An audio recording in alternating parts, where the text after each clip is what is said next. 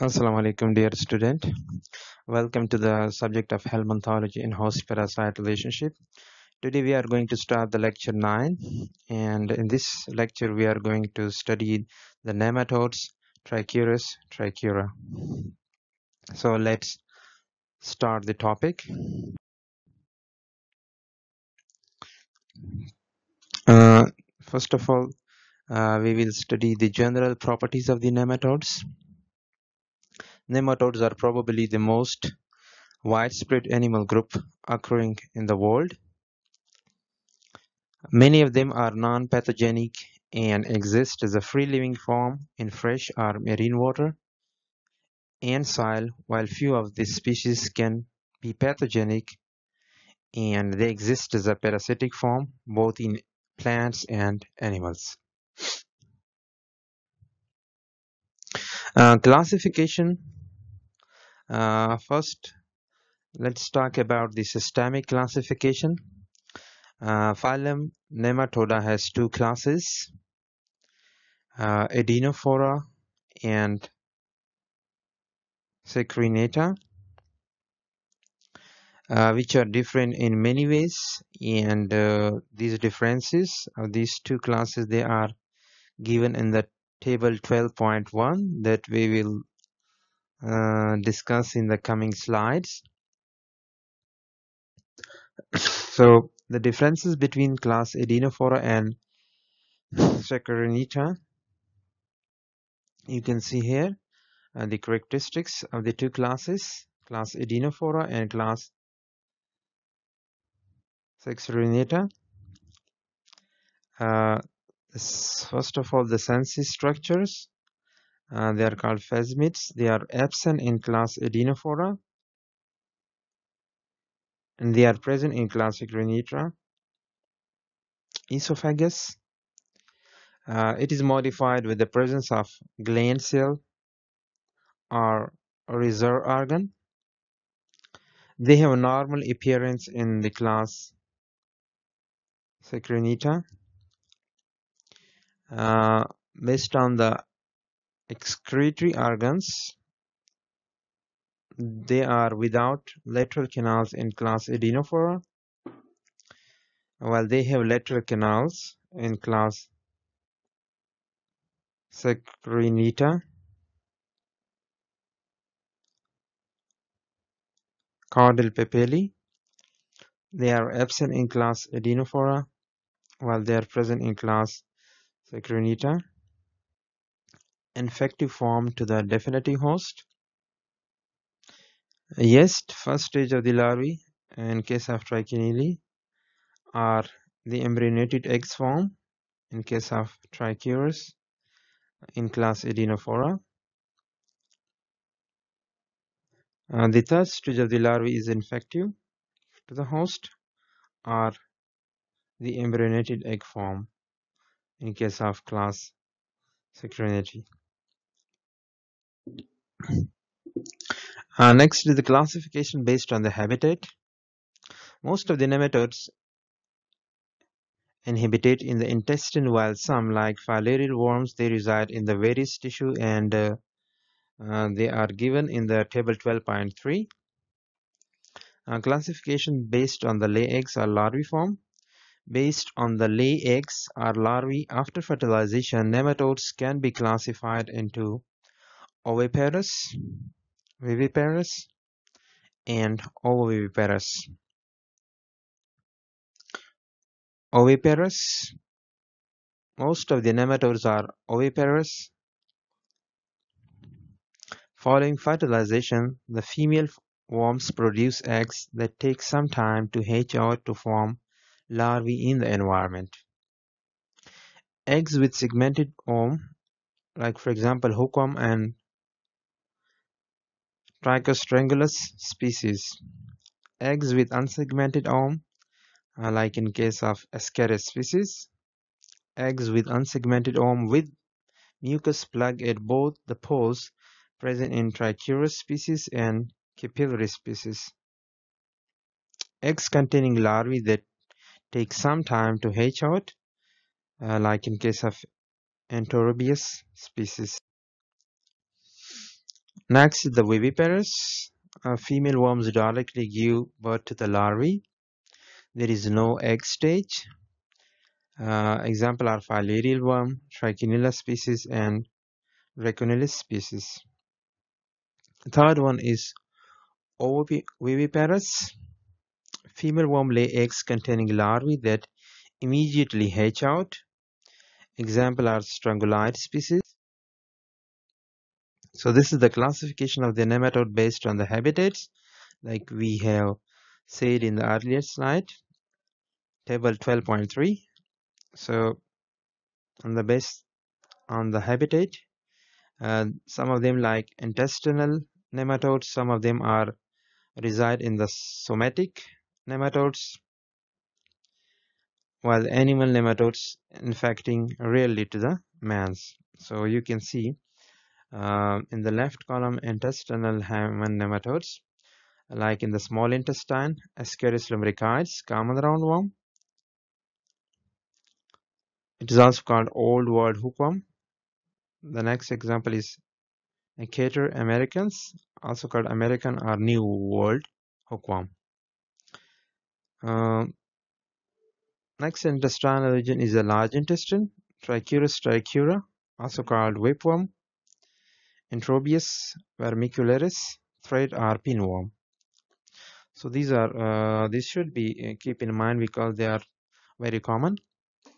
Uh, in the next column, you can see somatic human nematodes, uh, filarial worms, lymphatic worms, uh, nematode that reside in the skin region. You can see the example like in the eye, Loa loa. In the serous cavity, other human somatic nematodes are like Trichinella spiralis. Um, so you can see on the right two columns animal nematodes that infecting uh, animals and they are rarely infecting the humans. Visceral larvae uh, migrants like in the liver, central nervous system, abdomen, cutaneous larvae, migrants. You can see the various example of these nematodes.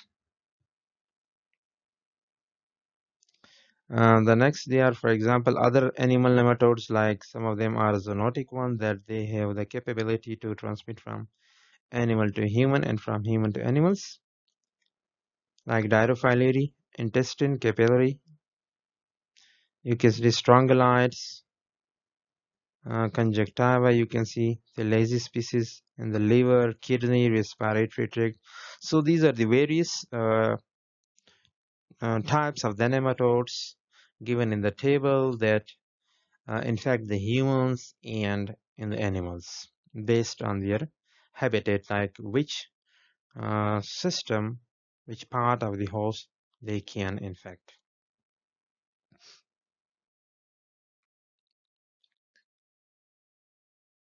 General description Nematodes pass through the six developmental stages. They are given in the figure 12.1. Adult worm, egg stage, and the four larval stage from larvae 1 to larvae 4. Each larval stage transform to the next by shedding of the cuticle, also called as molting. So these are the various stages, developmental stages of the nematodes that we have just described. Adult form, shape, nematodes are elongated, cylindrical or filarial form in shape with both the ends pointed. They are unsegmented without any appendages. Size of the nematodes variable ranging from less than 5 millimeter. Female worms are longer than male worms in general. Symmetry body is bilaterally symmetrical. They are in one plane while head is radially symmetrical multiple plane. Body wall made up of outer layer of tough acellular cuticle and inner layer of longitudinal muscles. Locomotion nematodes move by contraction of the longitudinal muscles. Alimentary canal it is well developed and consists of mouth at the interior end followed by muscular and glandular esophagus, intestine, and rectum. In some species like in hookworm, moth bear the teeth cutting plate. The esophagus may bear posterior bulb also in case of Enterobius. The intestine or midgut is lined by a single layer of columnar cells. Body cavity.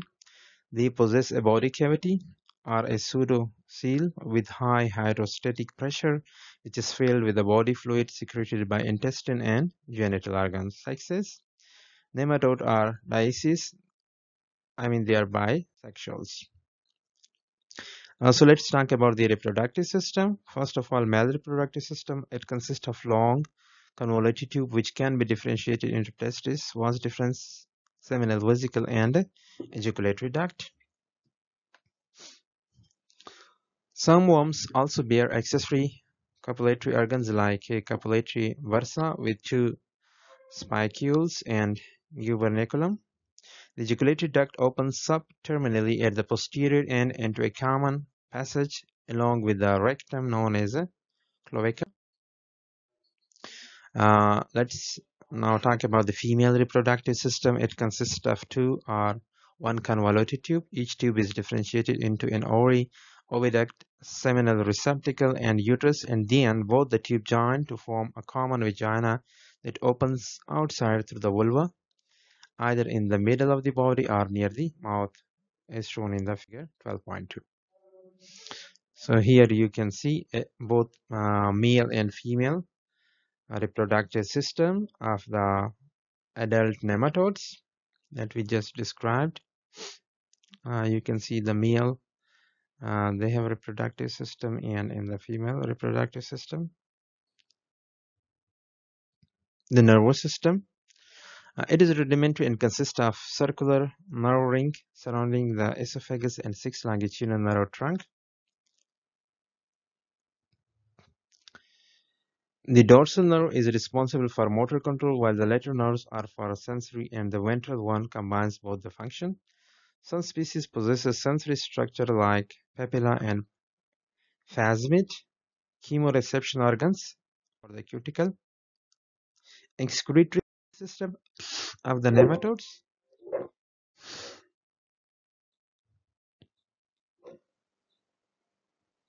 Okay.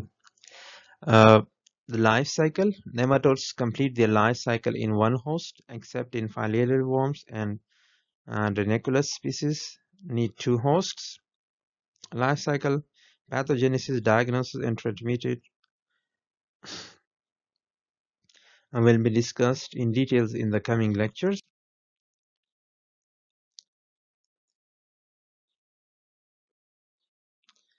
Large intestinal nematodes Trichuris trichiura. It is also called as whipworm as the adult worm resembles to a handle of whip. 71 species of the Trichuris are recorded so far.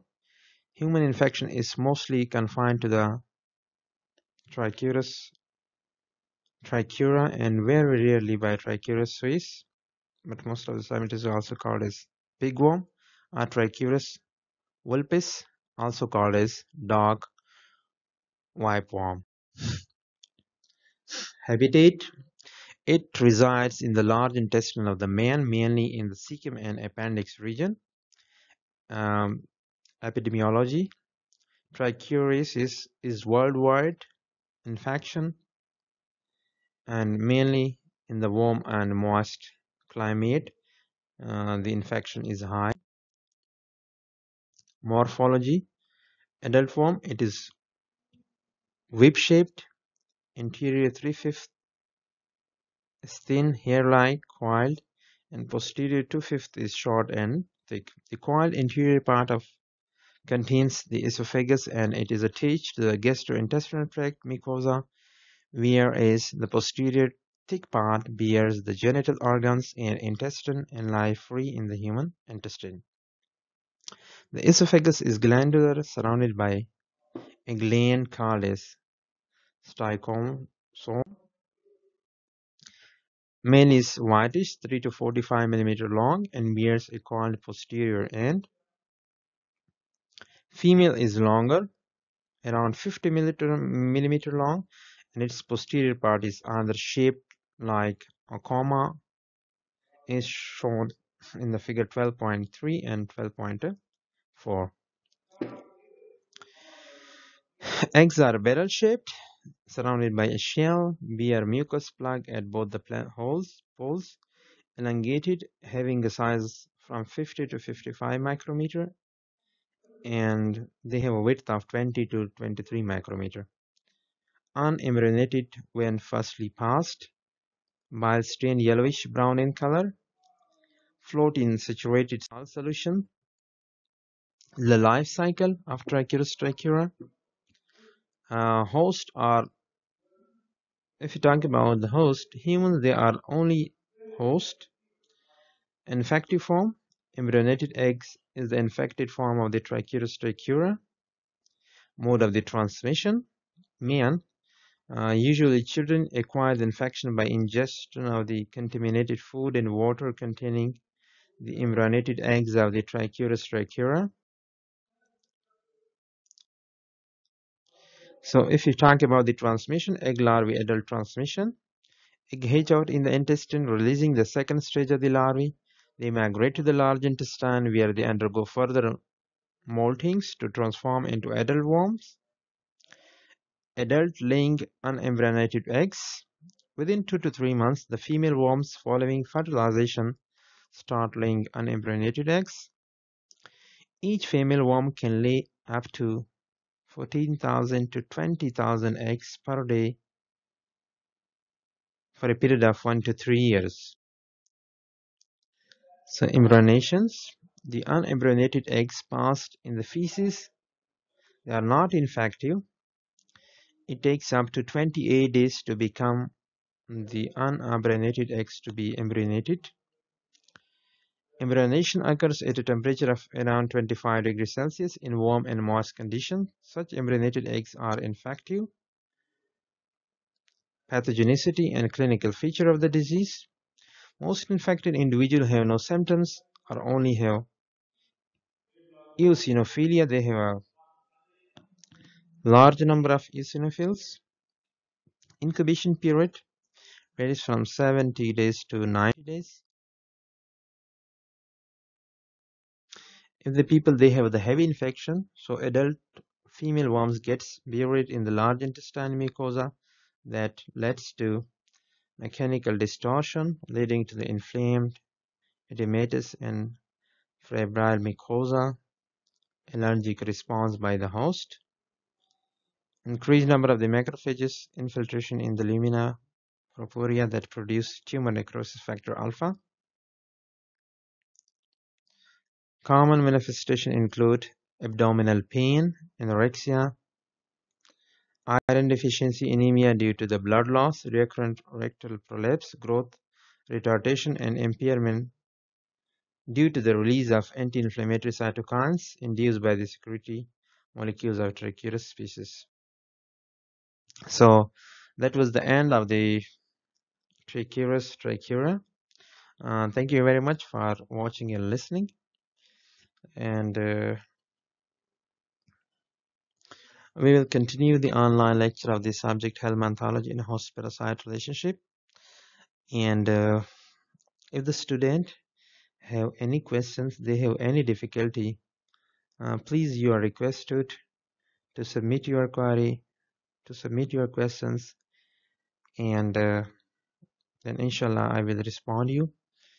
And uh, the reference book is given uh, here you can see the reference book. So you can also uh, read the topic in details in this book. Uh, thank you very much. Allah Hafiz and goodbye